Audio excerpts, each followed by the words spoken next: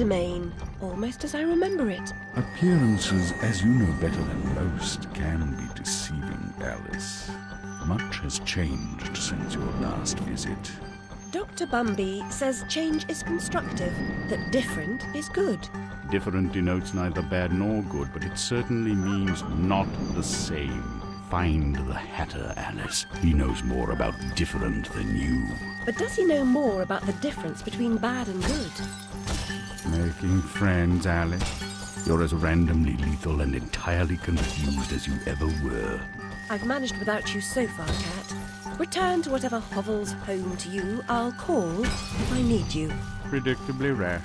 It's not a question of if, Alice, it's when.